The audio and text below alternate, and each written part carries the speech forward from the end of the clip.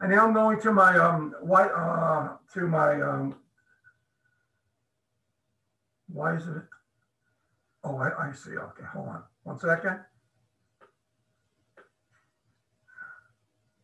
Share content, screen.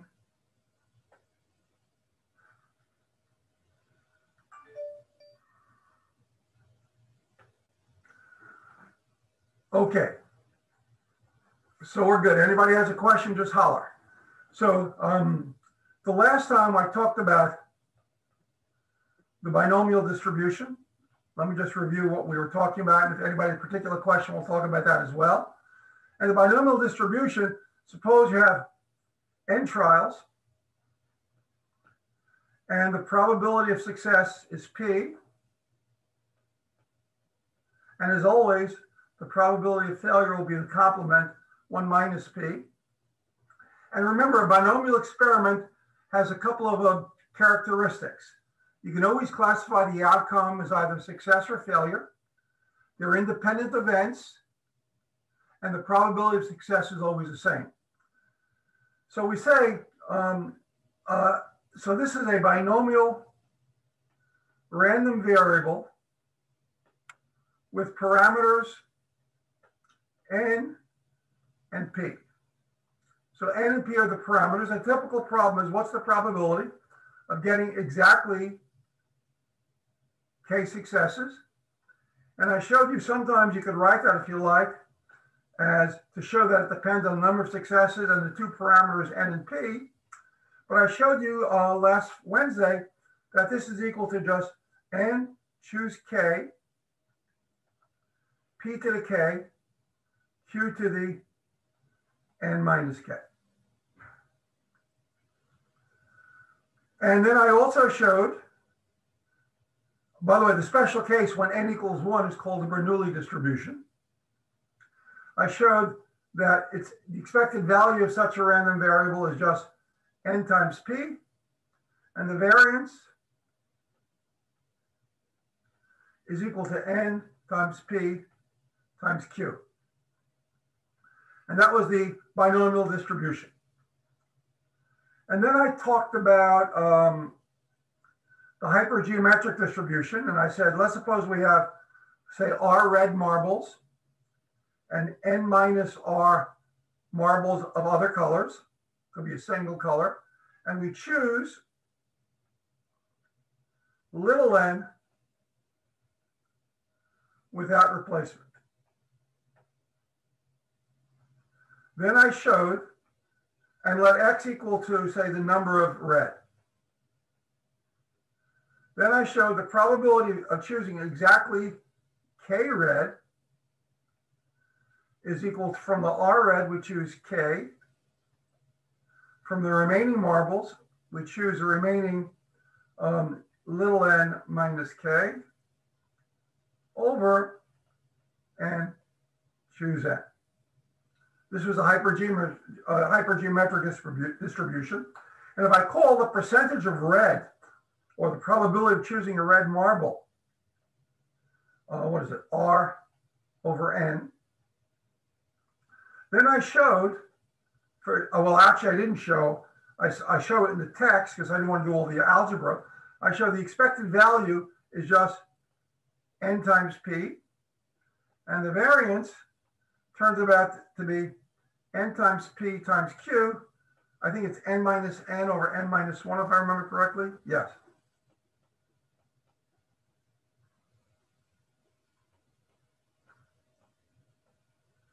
And I make the observation that as, um, which one do I say? As capital N gets very large, the hypergeometric approaches the binomial. And if you you uh, and if you look at the text, I do an example where I actually show even when n isn't isn't that large, this approximation is pretty good. Because as, as capital N goes to infinity, notice this term right here, for example, goes to one. If we let capital N go to infinity, remember from our calculus, this limit would just turn out to be one. And then the, um, the third example, the third distribution I considered the last time was the geometric.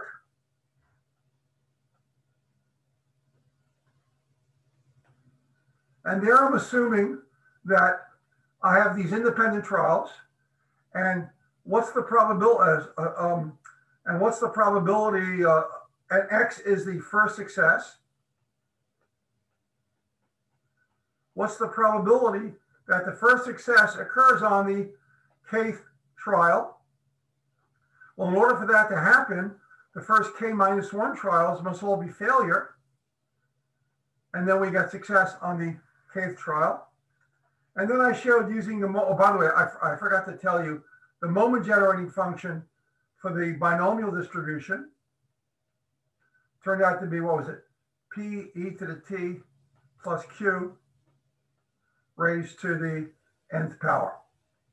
There is no simple formula for the moment generation for the hypergeometric. Okay, and then I use a moment generating function for the geometric to show that the um, expected value turns out to be 1 over p, and the uh, variance turns out to be q over p squared, and the moment generating function itself was, what was it? was, um, uh, what did I get for P e to the T over, uh, was it 1 plus Q e to the T? Or 1 minus, I think it was. 1 minus Q e to the T, 1 minus Q e to the T. Please don't memorize these results. I give them all to you uh, in the text and I'll let you have them on the exam. The table at the end of this chapter, the end of the section, will be given to you at the examination, your next examination. Okay, uh, as a simple example, let me do a one or two that's not in the text, and then we'll continue with the other distributions. Is there's a game called Chuck-a-Luck. You might see this if you go to your local county fair or something, uh, or you know, or if they ever have these fairs in New York City, like down in the village or something. And let me describe the fair, okay? You bet on an integer from one to six. Okay. And then you roll three dice or three dice. Okay. Now, um,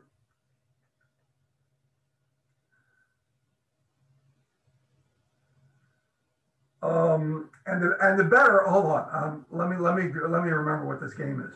I, I've forgotten this game.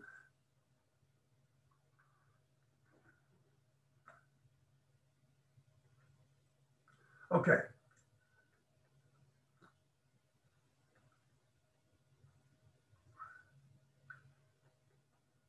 If the number you bet on shows k times, you win k dollars. So, for example, suppose a number you choose you uh, you choose is the four, and suppose you get two fours and one five when you roll the dice. Well, then your number showed up two times, you win $2. If your number showed up three times, you win $3. Otherwise, if your number doesn't show up, you lose your dollar. Okay, so the question is, on average, what do you expect to win or lose in this game? Okay, so I'm going to let X equal to the player's winnings. So X can take on the values. You can lose a dollar. If your number shows up once, you win one dollar. It shows up twice, you win two dollars. Three times, three dollars. So here's your range of the random variable. Now notice X is a binomial. With parameters n equal to 3, and the probability of success for any die is 1 out of 6. So the probability that you would lose a dollar means from the three rolls of the dice, you get no successes. It doesn't match your number. The probability of success is zero. The probability of failure is five, six. This turns out to be 125 over 216. The probability that you win $1 means you get one match.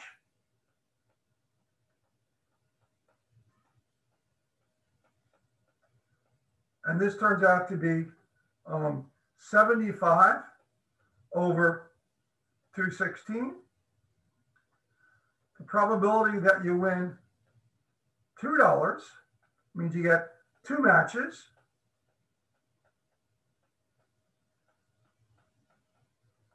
And this turns out to be uh, 15 over 216. And the probability that you get three matches means you get three successes. Remember, any number to the zero power is one. Turns out to be one over 216. And the expected value here is just minus one times 125 over 216 plus one times 75 over 216 plus 2 times 15 over 216 plus 3 times 1 over 216. This turns out to be negative 17 over 216, which is about 8 cents. So on the average, you would expect to lose about 8 cents every time you play this game. So I, I did this problem because it was I thought it was an interesting problem. Uh, I do one in the text that you should read as well. That's about uh, ESP. And you might want to look at that example. Uh, it's, it's a pretty example. Okay. I want to talk about um, another uh, another important distribution. We talked about the geometric. We actually saw the geometric earlier in the semester. Uh, what I want to talk about next is going to be the Poisson distribution. Uh, what am I having here? Oh yeah, I do a really nice example of the in the text. It's a little tricky uh, about the cereal boxes. You might want to read that one. Um, it might interest you because it's the kind of problem that showed up a lot. Okay, before I do the, uh, that, I need to do the um, Pascal's distribution. Let's see, let me spell his name right. It's either called the Pascal, some books call it the negative, um, what do they call it? The negative binomial. For reasons that I don't want to talk about here. Okay. So let me begin with a problem, then I'll give you the general term, okay? Suppose uh, I toss a fair die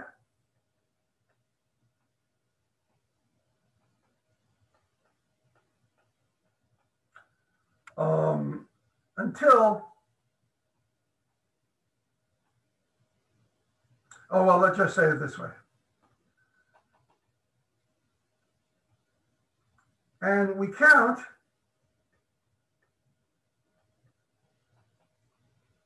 the number of times a three occurs, a sum of three. Okay, so a, a die is tossed, and we count the number of times the threes. Uh,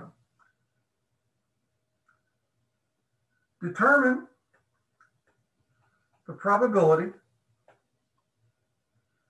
uh, the seventh three occurs on the, what do I ask for? The 11th toss. Okay, let's make sure you understand the problems. I keep tossing a die. And I want to I want to figure out the probability that I get my seventh success. You know, I'm, I'm talking, I'm getting the three is success on my 11th toss. So firstly, clearly every clearly this is related in some sense to the binomial because these are independent events. Each event is either success or failure, but it's a little different. I want the seventh success to occur on the 11th toss. Well, what does that mean then? What, what this, so let's let x equal to the um, number of tosses required. So in this case, what's the probability that the number of tosses required is 11? That's the question. Now, for this to happen on the 11th, what does that mean? That means we need, um, if you want the seventh success to happen on the 11th toss. That means we have to have six successes in the first 10 tosses and success on the 11th toss. Well, that's easy to do.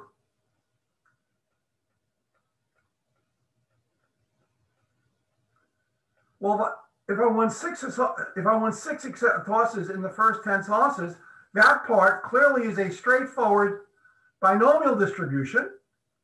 So in the, I want six successes out of the first 10 tosses. The probability of success is one sixth, which means I want four failures.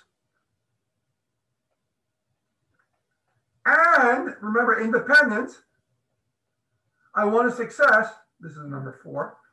I must have a success on the last toss so that's simply one sixth. So in fact, the answer to this problem would be 10 choose 6. These two combined, I get 1 6 to the 7th times 5 6 to the 4th. And by the way, if those of you want an answer, I actually give you a decimal answer in the book. I don't really care what the answer is here. So let's generalize this result. Now that we see it, um, let me follow what I have in the text. I use the letters. I never remember, by the way, this general, you know, the fancy statement here. When I do a problem like this, I just look at a problem like I've just done it, and I say, okay, in the first m minus one tosses, I know I want successes as binomial. But let me uh, use a notation in the text. Okay, so let x be the number of repetitions needed for a particular event to occur m times, where each repetition is independent and has the probability little p, then the probability, the nth, oops, I'm using a big N here, the probability that the nth occurrence of the event occurs on the kth repetition is, well, let's work it out again. It's really the same problem. You want in the first k minus 1 repetitions, you want n minus 1 successes. All right, I just switched to a little n. Let me um, let me fix that.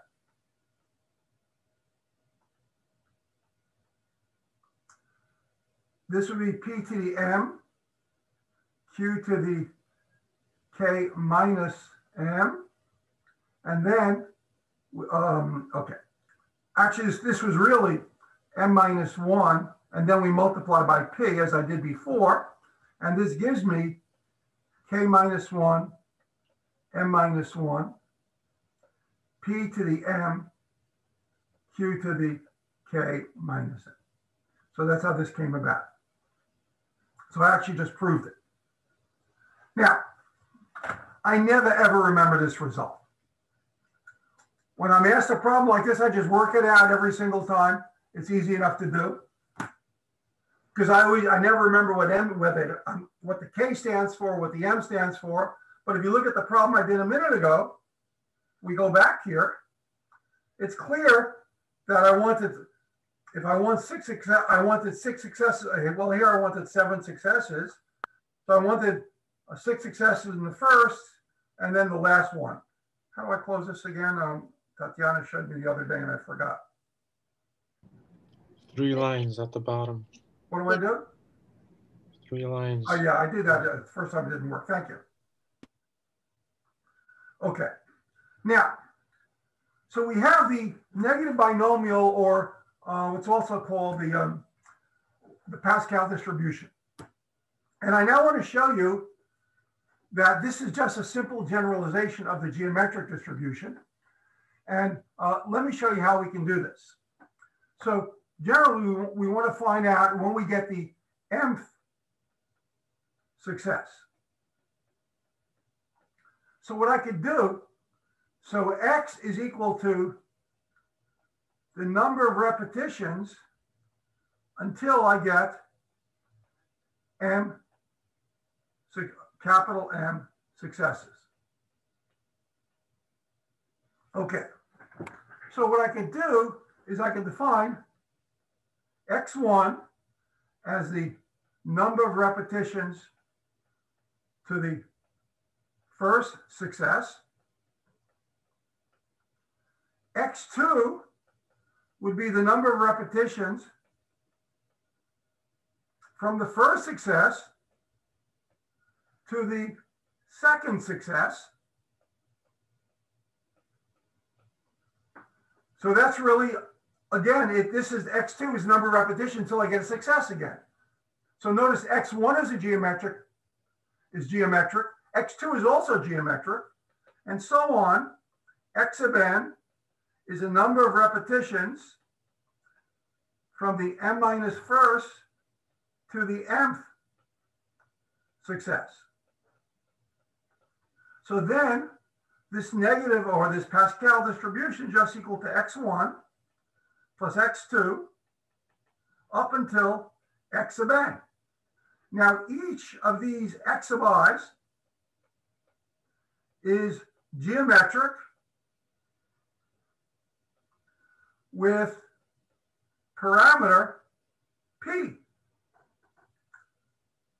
So I know immediately, and I know for a geometric random variable, uh, I know the moment generating function for any one of these random variables was equal to p e to the t over 1 minus q e to the t. Uh, well, hold on. Before I even do this, let me just make an observation, an easy one. Then I'll give you the moment generating function. Well, these are all independent events. And remember, E of x of i for geometric distribution is 1 over p. And V of x of i for the geometric distribution, what was it?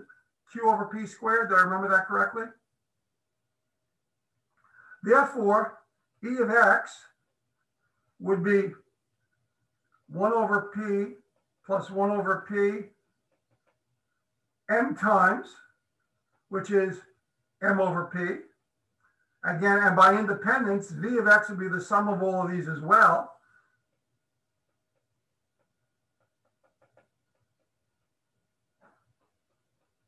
Which give me mq over p squared.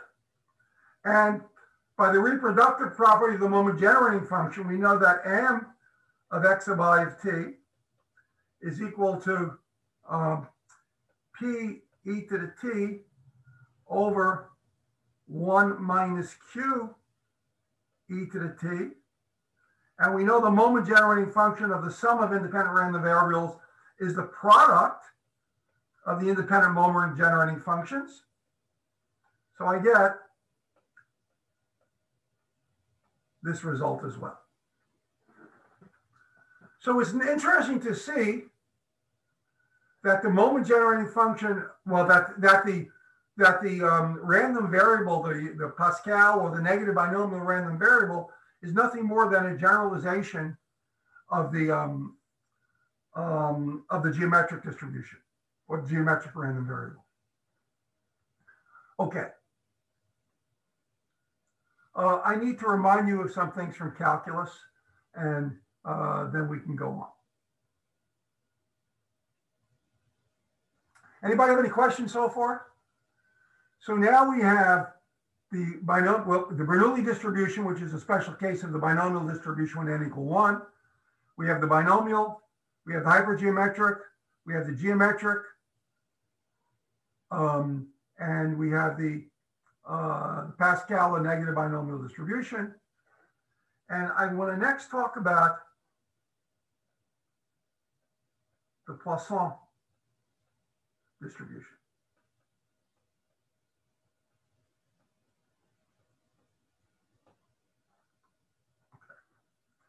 I want to remind you that when you took calculus, you learned the following. You learned that 1 plus, uh, 1 over x to the x power, and you took the limit of this as x goes to infinity. And this answer, do you recall the answer? The answer to this was the number e. That was the definition of number e. And one way of thinking about this was through the compound interest formula. If you let the frequency become uh, instantaneous uh, every instant of time, then um, this is the rate of return you get on a dollar. Now I want to generalize this result. Suppose I gave you the following problem. What's the limit of one minus lambda? I, I arbitrarily chose this um, to the n as n goes to infinity. Well, the way to handle this problem is let's let x equal to, by the way, I, can take, a, let me write it plus one plus lambda, but it doesn't make a difference. Why don't I just say one plus a? And then I'll take a to be a negative number later. One plus a, well, a is any real number. So I'm going to let x equal to a over n. Okay. Or let me let 1 over x equal a over n. So as this says n is equal to ax. And let's suppose for the moment a is positive. The same is true when a is negative. By the way, if this were minus infinity, the result would also be true.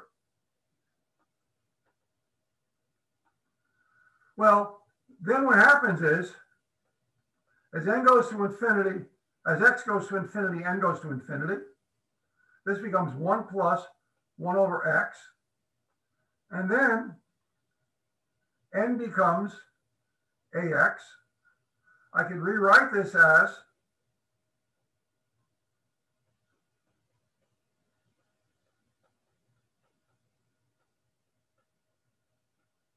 using the laws of exponents and using my properties of limits that you learned about in calculus one,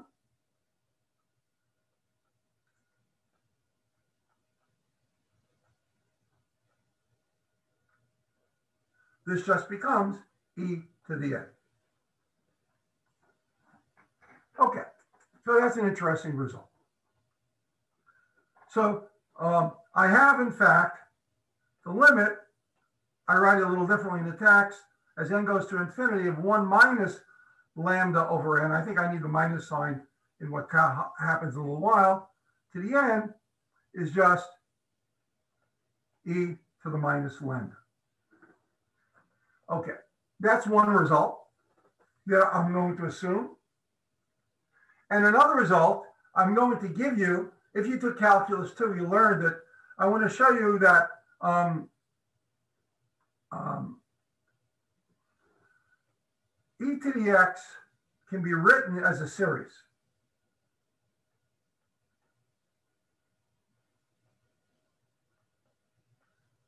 For any x, this is true.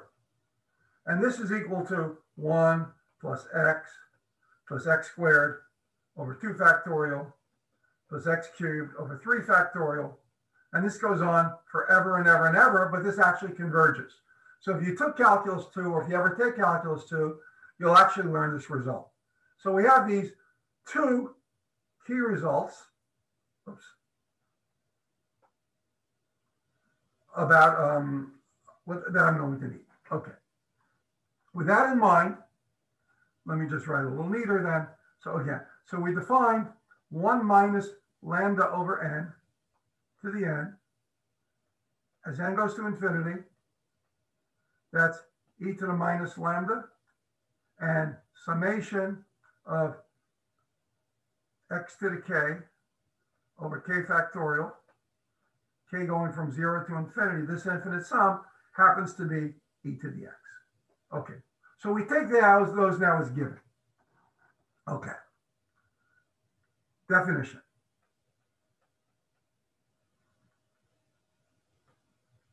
X is said to be a Poisson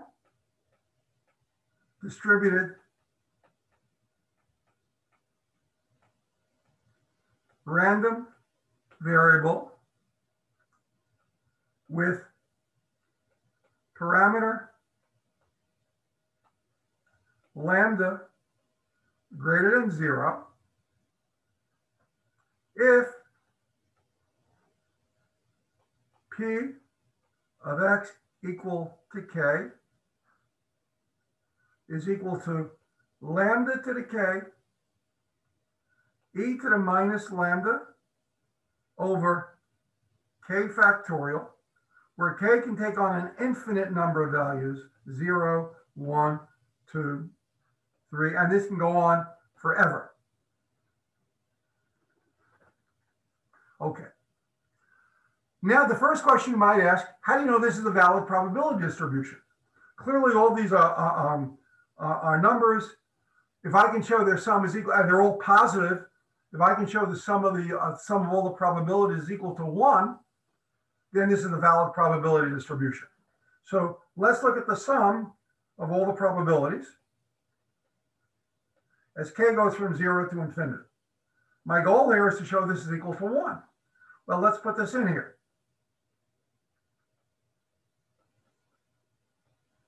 This will give me lambda to the k over k factorial. And the e to the minus lambda, since it doesn't depend on k, I can take out of the sum.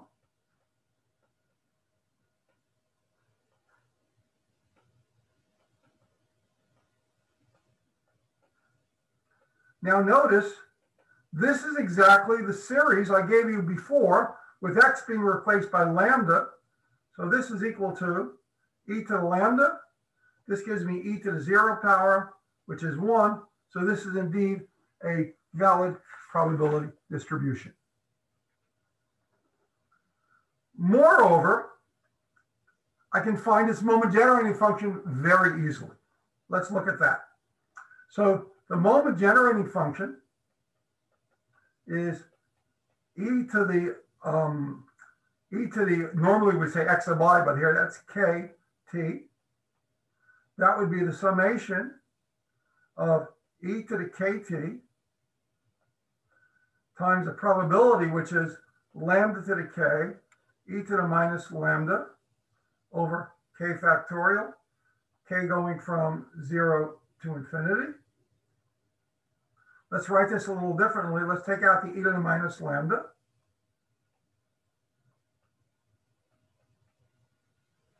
And then notice I can rewrite this as lambda e to the t, all this raised to the k power over k factorial. Now notice this is exactly the series I had before, except instead of x, I have lambda e to the t. Remember, e to the x is the summation k going from zero to infinity of x to the k over k factorial. So that means m of t is e to the minus lambda. And then all of this then becomes e to the lambda e to the t. And I can write m of t is equal to e to the lambda e to the t minus 1 uh, for the for this function. Let me just make sure uh, we have this.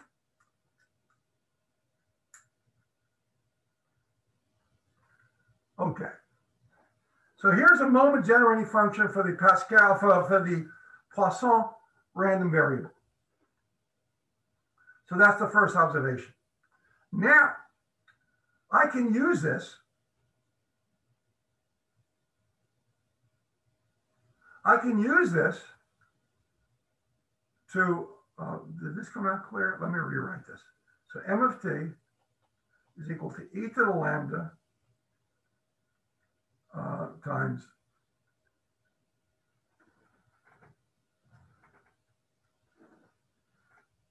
yes, okay. e to the t minus 1. Okay. Now, let me just remind you, if I take the derivative of this, derivative will be this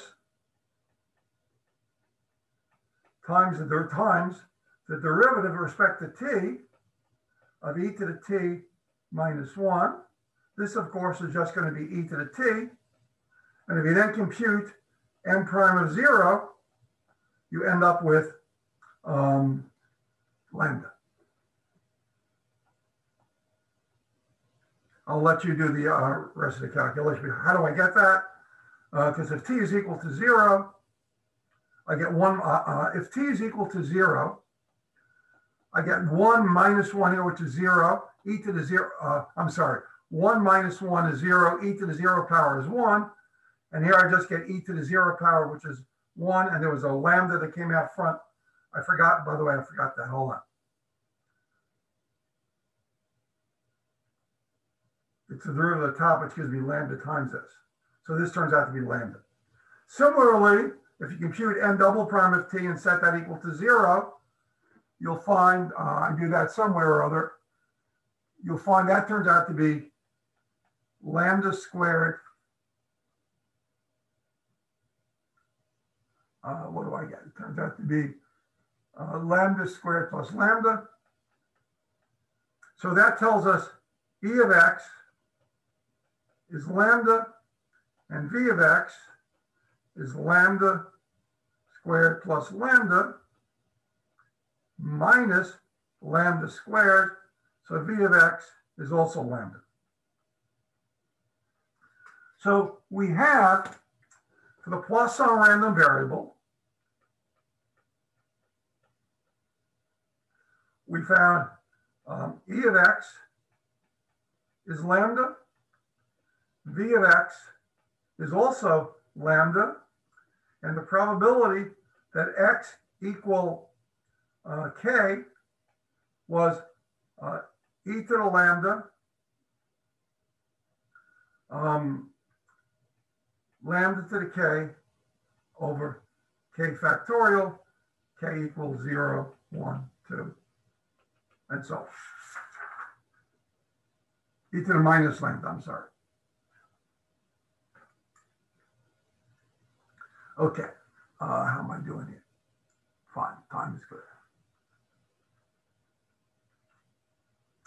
Okay, now, um, the Poisson distribution is very important in its own right, as we'll see soon enough, and we'll do some examples. Let me remark, sometimes um, we talk about per unit time, so sometimes if I replace, um, you'll see uh, when I talk about something per unit time, then I'm thinking of lambda as being per unit time, and you'll see it, it may, uh, in some cases, I'm going to replace lambda by lambda t. Um, I do that, I believe, an example a little later on, but I'll worry about that soon enough. That is, sometimes um, I'll actually write the formula this way.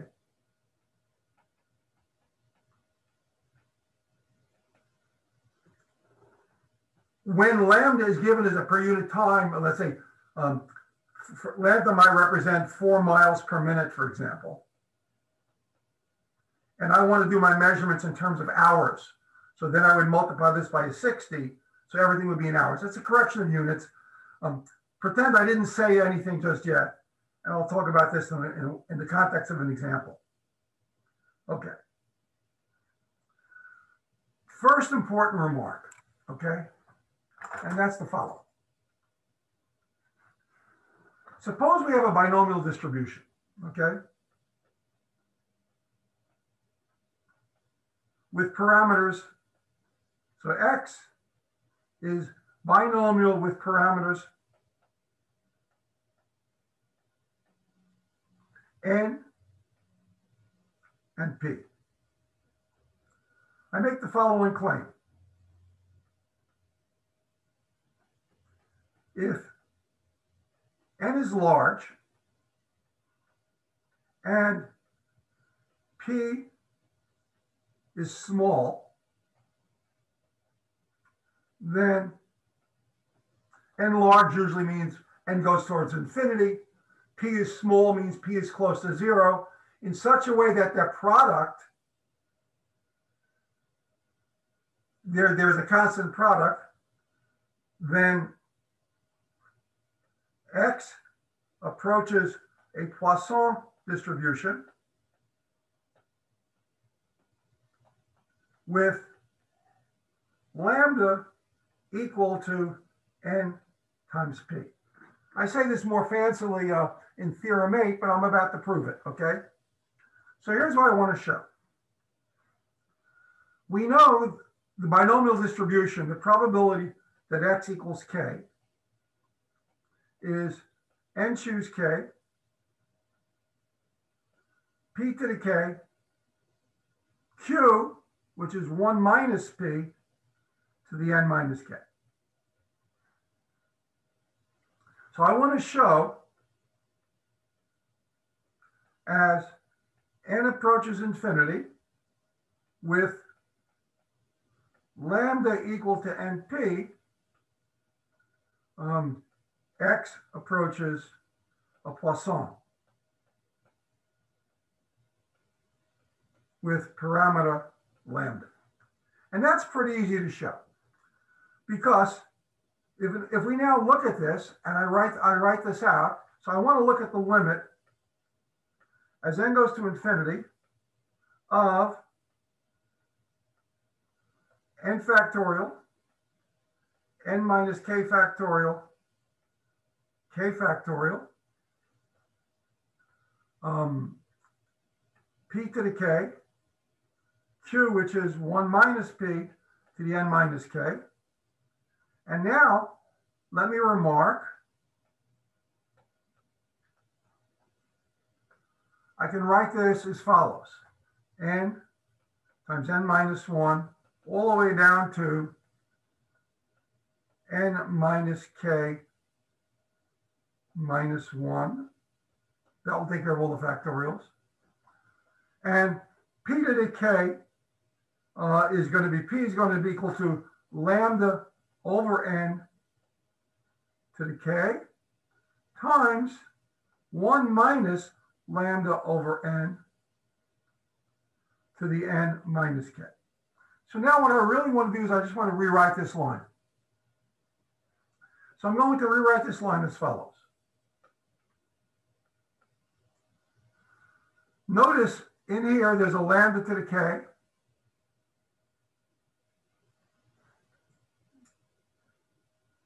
Oh, by the way, I forgot my k factorial here.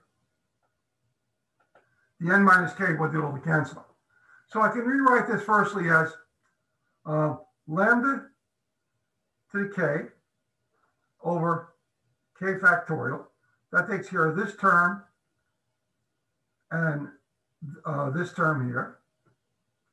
Notice there's an n here, and I have n minus 1 terms here. And here I have 1 minus lambda. I could write this term as, um, break this term up into 1 minus lambda to the n.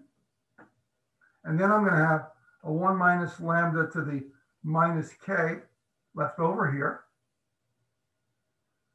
Uh, there's an over n here. And now if I break up all these other terms, notice there's an n here. There are k terms here. So each of these terms can be written n over n times n minus 1, n minus k minus 1. All these over um, n to the k. So I have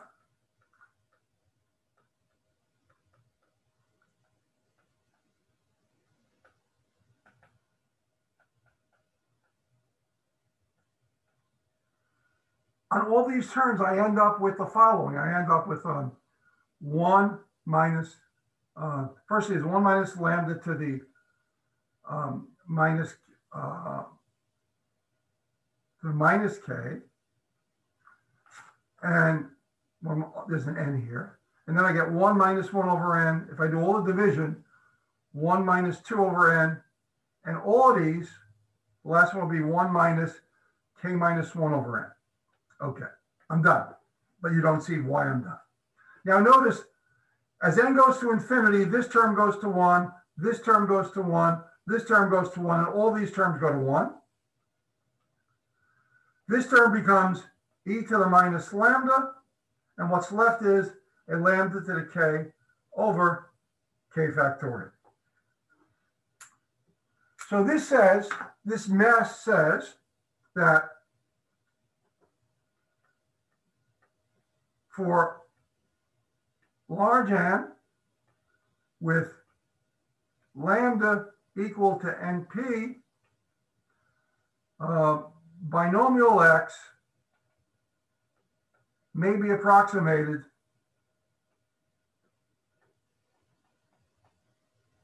by Poisson x. So I, I hopefully I, I think I have an example here where I um, illustrate this somewhere on the, where is that now?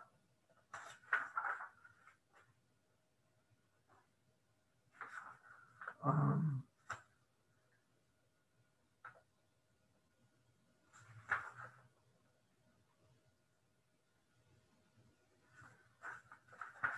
where did I put that problem now? I just wrote it up this morning.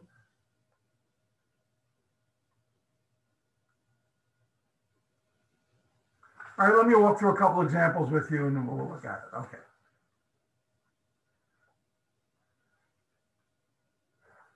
Uh, oh, here's the one I wanted to do. Suppose, this is example number 12 in the text.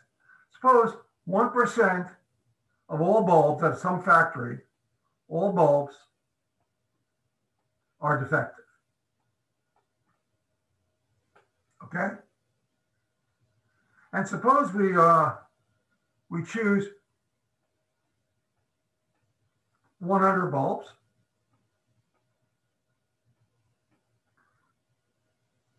Determine the probability two are defective. Well, this is clearly a binomial distribution, right? Uh, X is binomial. The parameters are P is 1% of 1 over 100 and n is equal to 100. So the exact answer for this problem, it's a binomial, would be x equal to 2 is 100, choose 2, 1 over 100 squared times 99 over 100 to the 98th power. And if you work this out, this turns out to be what, 1849? Yeah, 0.1849. Now notice in this problem, n is equal to, n is small, 1%. I'm sorry, p is small, n is 100.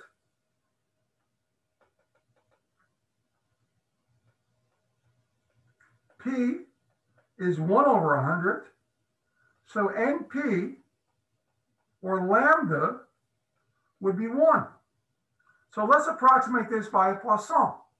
Well, a Poisson with, remember, P of x equal K for a Poisson is lambda to the K, e to the minus lambda over K factorial. In this case, the probability x equals 2 is lambda is 1, e to the minus 1 over 2 factorial. And this number turns out to be 0 0.1849. Uh, I'm sorry, wrong one, 39. So notice the answer is pretty good to two decimal places. And here n is relatively small. Okay. Now I want to show you the remark I made a minute ago, um, um, the following. But before I do that, let me just talk about the Poisson distribution. The Poisson distribution can be used to approximate the, the, um, the binomial distribution, but it's really a bona fide distribution on its own. For example, uh, and I'll tell you why. Let me give you some examples first. I think I cite a whole bunch in the text. Um, suppose, um, suppose um, we look at some physical process with any, with say any in any fixed period of time, or or a, or a region in space. For example, suppose we look at the number of earthquakes occurring in a certain region during a time period of 10 years. Or suppose we look at the number of radioactive clicks from a radioactive detector in any one hour. Or suppose we look at the number of accidents at a busy intersection during any time of the day, say during a, a one hour time period during the day. Or um, suppose we look at the um, the number of typographical errors in, uh, on, on any particular page in the textbook. All of these occurrences satisfy three properties, three conditions. The number of occurrences of, of these kinds of phenomena in any two or more non-overlapping time periods are independent. That is, if I look at the number of, of typographical errors, one is independent of the other during any particular time period. The probability of, of at least one occurrence of each of these phenomena in, in some fixed length is bit, about the same. And the probability of more than one of these occurrences happening is very rare. Now, any, any situation that satisfies that kind of uh, occurrence, uh, those kinds of conditions will satisfy a Poisson distribution. I actually go back proving it a little bit in the text, but the proof is a little messy. For example, a typical answer, example is um, I use I use the example of a switchboard. A switchboard used to be the way telephone calls would come into a large company. And the example I gave the following is uh, this is example number 11. Suppose on the average, two telephone calls per minute, two calls per minute arrive at a switchboard. So determine the probability of no calls in a five minute interval. And then I ask uh, of so that's A. And B is of more than one call arriving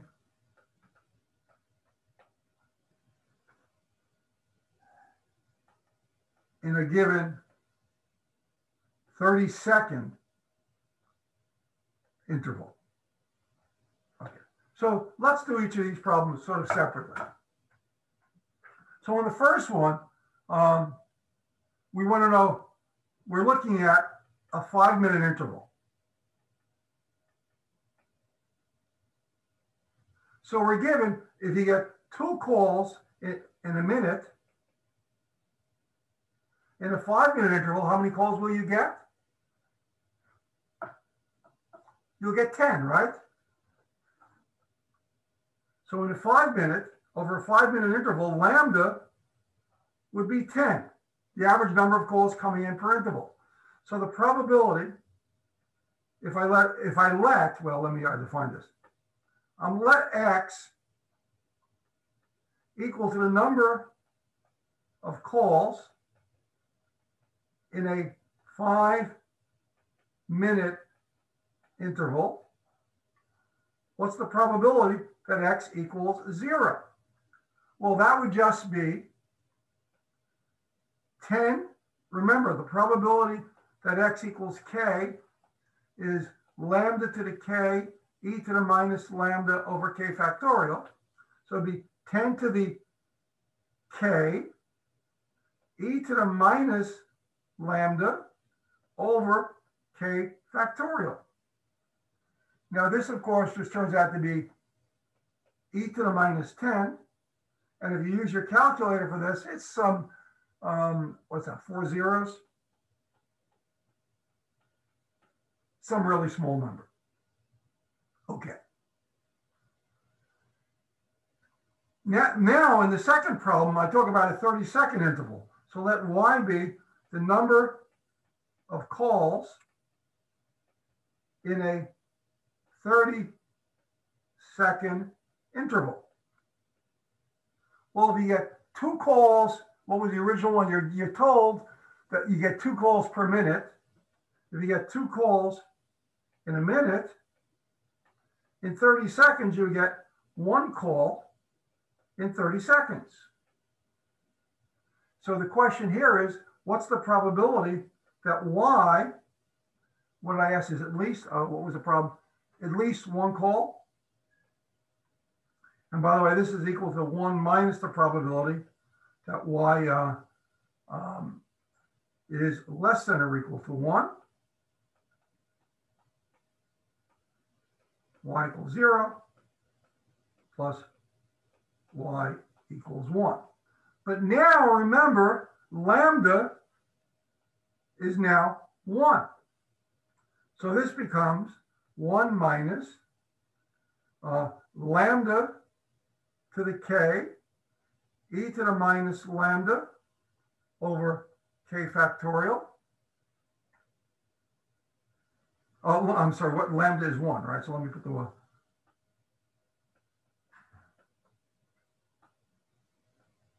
Plus uh, one to the one, e to the minus one over one factorial.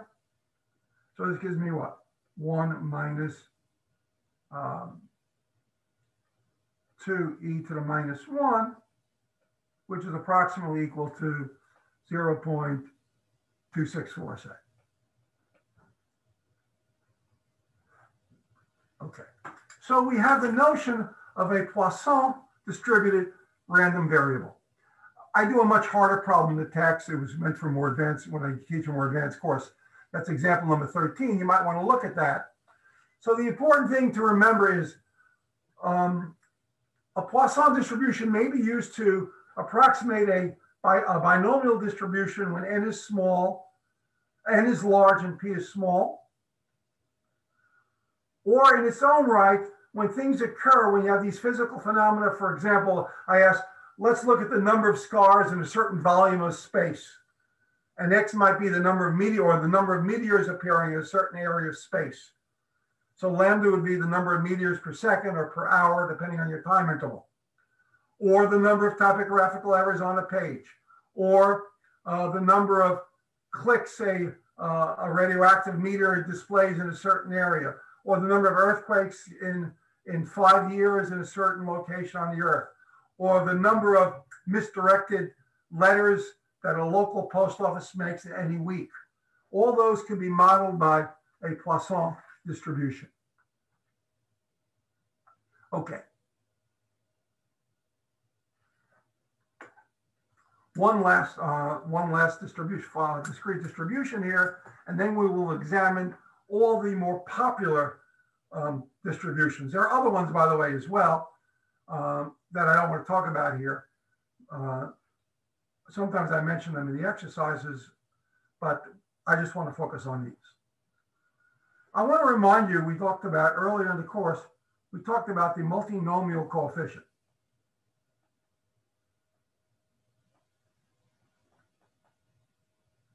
And remember, uh, an example, suppose I had 12, 5 fact, uh, 5, 3, 8, 9, 8, 9, 10, 11, 12. Notice the numbers in the bottom add up to the top. This would be 12 factorial over 5 factorial, 3 factorial, 1 factorial, 2 factorial, 1 factorial. And in general,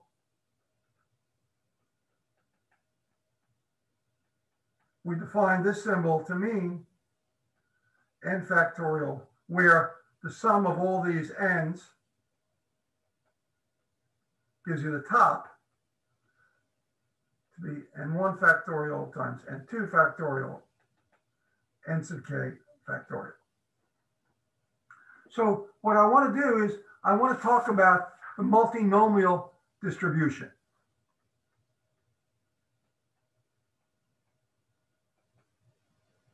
Okay.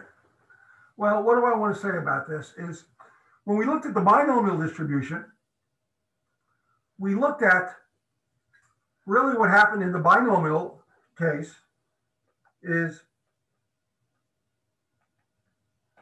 we typically had two, two probabilities, success or failure.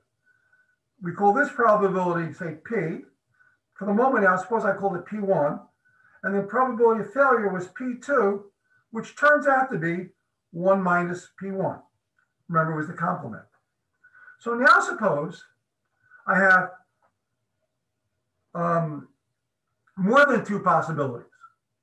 For example, suppose the possibilities are A, B, or C, or I have four possibilities. So in the multinomial distribution, suppose I have n possibilities. And the first one uh, comes out with probability one. The second one would have probability two. And the last one would have probability n. And of course, the sum of all the probabilities must total one. Then it's not hard to uh, ask the following question. So let x1 equal to the number of number one occurrences. And I'll illustrate uh, with an example in a second. X2 would be the number of number two occurrences, and so on. X of n would be the number of number n occurrences. And they all have respective probabilities, P1, P2, up through P sub n. And I might ask the following uh, question. What's the probability that x1 is n1, x2 is n2, and x sub k is n sub k. Remember, in the binomial, technically speaking, if I ask what's the probability that x equals k for the binomial, what I'm really asking is the success is K. Call Y the failure is really N minus K. But I don't really need to say it here because there are only two possibilities. So if I know one, I automatically know the other. Now, I don't think it's it's a hard stretch for you to realize the answer to this problem will turn out to be very simple. It will turn out to be N, N1, N2, N sub K, P1 to the N1, P2 to the N2, and so on, P sub K to the N sub K.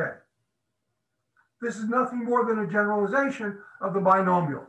For example, I give the following example. Um, toss a die 21 times.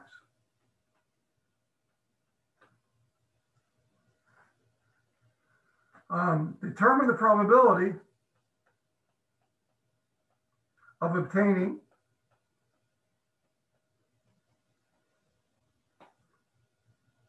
uh, let's see, a one three times,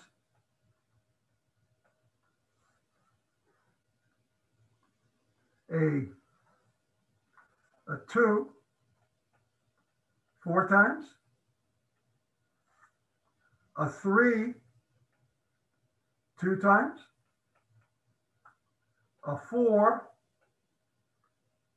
one, a five six times, a seven, uh, there is no seven, a six, six times. Let me make sure these add up right. So six and six is 12, 13, 14, 15, 19, 19 and three, something's wrong. Um, a one, three times, a two, four times, a three, two times, a four once, a five, six times, and a six, five times. Now it adds up. Okay. Now it turns out in this problem, all the probabilities are the same. Namely, this probability is a six, this probability is a six, and so on. So the solution to this problem is the probability that x1 equals 3, x2 equals 4, x3 equals 2, x4 equals 1, x5 equals 6, and x6 equals 5 is equal to 21. Choose, what is it? 3, 4, 2, 1, 6, 5. The first probability, which happens to be 1 6, is to the third power. The second probability, which also happens to be 1 6, is to the fourth power. The third probability, which happens to be 1 6, is to the second power. Uh, what's the next one? The next probability, uh, which is 1 6, is to the first power, 1, 2, 3, 4. The next probability, which is 1 6, is to the sixth power. And the last probability, which is 1 6, is to the fifth power.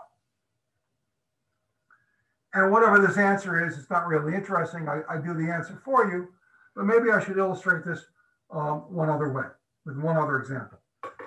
Okay, a, a simpler example. I have an urn. I have 20 red, 30 blue, and uh, let's say 50 yellow.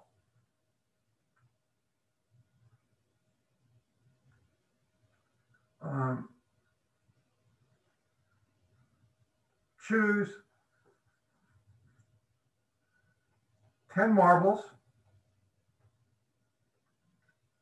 with replacement. Now that means when I say with replacement, that means after you take a marble, you note its color. Okay, you note its color.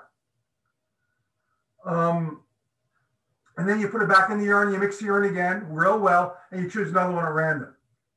That means that nothing changes. So anytime I choose a marble, the probability that I get a red marble at any time and at any drawing would be 20 out of 100 or 0.2. The probability that I get a blue marble anytime is 30 out of 100 is 0.3. And the probability that I get a yellow marble at any time is 0.5. Now, n is 10. Let x1 be the number of red. Let x2 be the number of blue. And let x3 be the number of yellow. So now let me ask a problem. What's the probability uh, I get three red, five blue, and two yellow? Well, this is a clearly a multinomial problem because all the probabilities stay the same. And this would be 10, choose three. The probability I get red is 0.2 cubed. The probability I get blue is 0.3 to the fifth, 0.5 squared. And whatever this is, that would be the answer. Okay, so this illustrates the multinomial distribution as well. I've just completed section 2.12, so you now can complete any of the exercises in 2.12. We're going to, let me just uh, get rid of this, okay? Um,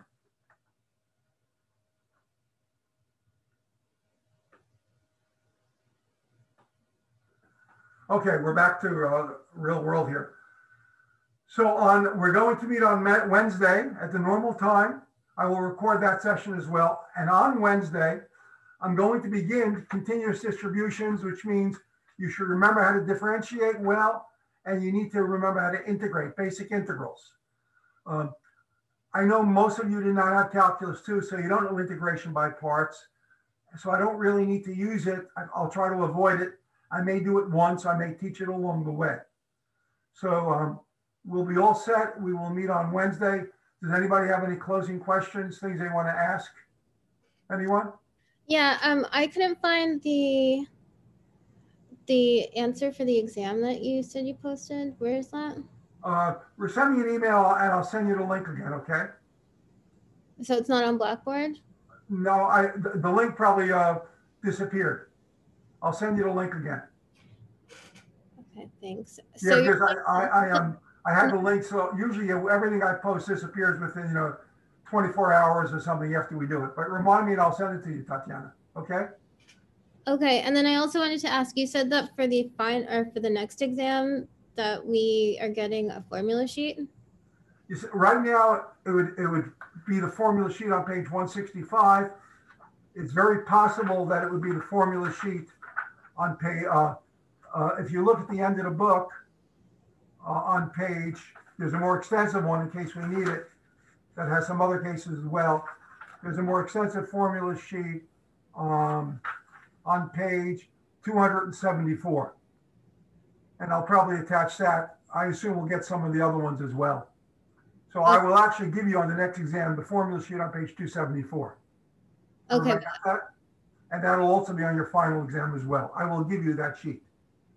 I don't want you wasting your time memorizing formulas that ultimately you would forget down the road. It's important you understand how we get them, but there's no need for you to memorize them. but um, I just want to make sure our previous exams, they were closed book and we couldn't. This will be closed book as well. I'm going to give you the sheet as part of the exam. Okay, Okay, is that clear? yes. Okay. Uh, anybody else have any other questions? Okay, um, is there anybody here who can't make the, except for the one person who told me, who can't make the extra class on Wednesday? Professor, uh, Wednesday morning, same time, right? Ten forty-five. Yes, I will send, I will, I will post on Blackboard and send you, you'll get, um, the Zoom link. It'll be the same time as if we're meeting, and I will begin to chapter, uh, chapter three at that time. Okay, and that's optional? The chapter's not optional. Uh, I'm doing the meeting because everybody said they can make it. And I'm gonna record it as well. There's one person who wasn't able to do it. Okay. I mean, I can, I can be there, but um, I'm sorry, can you be there? I can. Fine, then there's no problem. Everybody else can as well. If there were a problem, I would have looked to schedule another one. I'm looking, uh, probably later on down the road before the final exam, I may want to schedule an extra review for you. And I may choose another day to do that, like on a Thursday during club hour or something like that. We'll talk about that later on, but I'd like to give you guys extra stuff if I can. Okay, thank you. Okay? All right, everybody. I'll- So I'm going to, right now, I'm going to, uh, in about 10 minutes, the link will be active for Wednesday. I'll let you, I'll, send not active, I'll send you the link for Wednesday. Okay, are we good? Yeah, thanks. Okay. Yes, thank you. Um, Have a great okay, day, I'll sir. see you then. Have a good day. We'll see you. Bye.